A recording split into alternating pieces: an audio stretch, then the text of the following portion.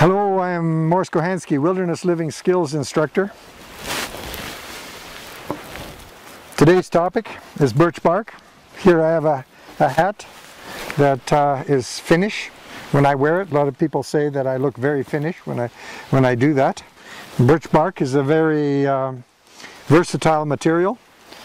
The uh, regions of the north where it grows, it's a cold climate type tree one of the few trees that uh, can actually endure sun shining on it from all directions. Where other trees don't like that, birch can cope with it. There are many things that can be made out of birch, primarily baskets and buckets. So here's a hat.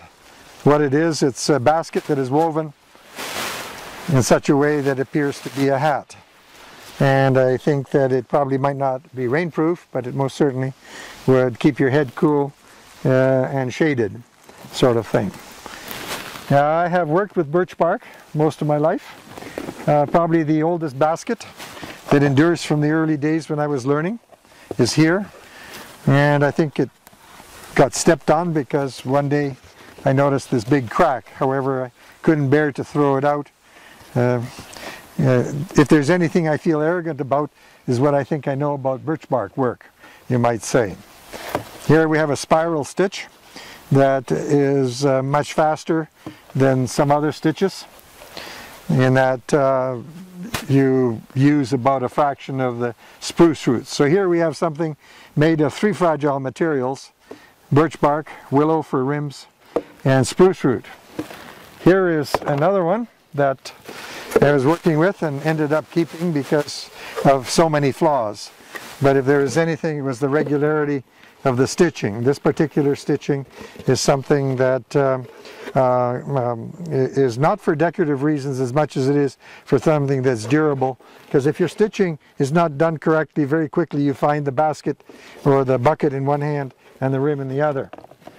The perhaps most sophisticated uh, uh, tray or whatever that I've ever made is this one, made out of uh, perfectly chosen bark with the step down stitch.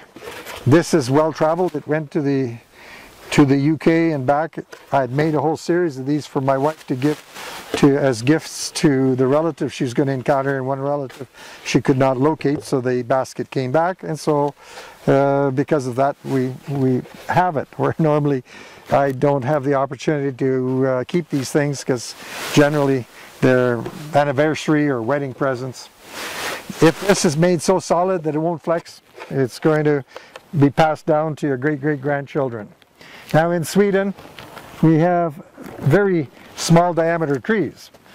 Not far from where I'm talking here, in this part of the world, we got trees where I have actually found a birch tree that would take two people to hug the tree. So the bark they use there is fairly thin, and it's always taken off in a spiral and you can tell that when you examine the lenticels are the the type of markings that you uh, that birch is uh, associated with.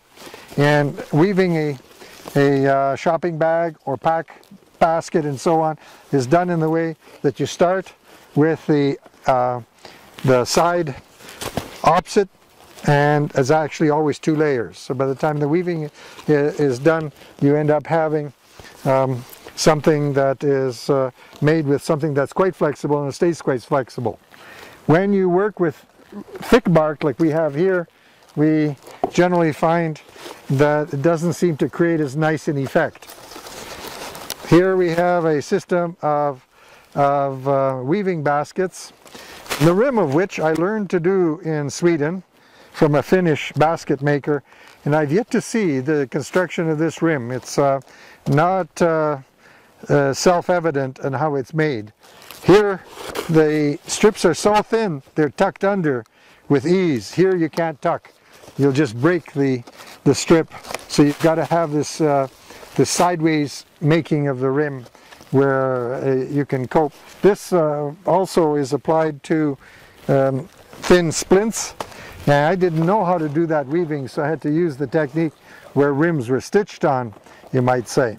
But this is done with spruce splints, which we'll talk about later. we have different sizes of basket.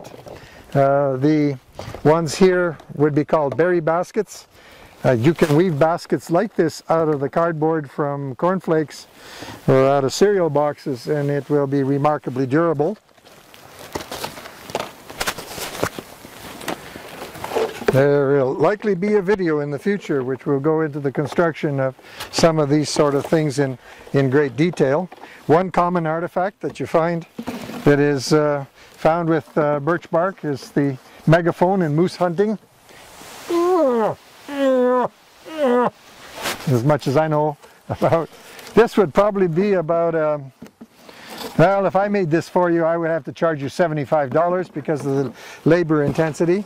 The native people tend to make things like this which uh, uh, are functional, but a lot cheaper. Perhaps it is enough of a megaphone, but it's a lot smaller. Uh, both are found in the literature, and I based mine on the on the uh, um, the the bigger ones that are maybe preferred more in the east. Now, the culmination of birch bark work is the construction of canoes. Now, here's a scale model. You can imagine that this is probably one-fifth scale take five of them end to end and you'd come up with a full-size canoe. In the attempt of building a scale model, you try to um, um, uh, repeat every little nonce that you would use in building a full-size canoe.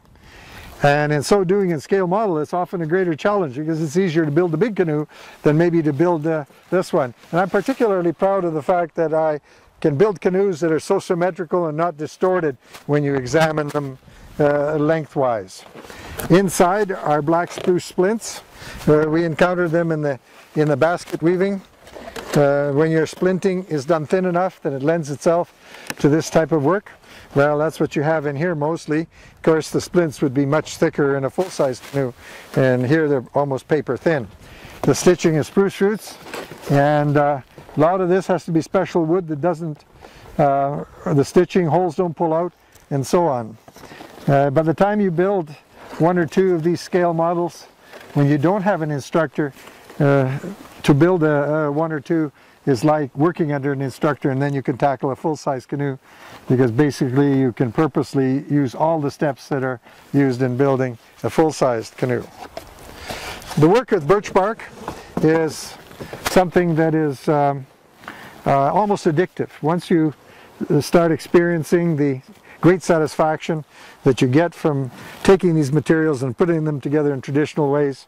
There's a time in one's life where you do an awful lot of this and I would say that happened to me about 20 years ago.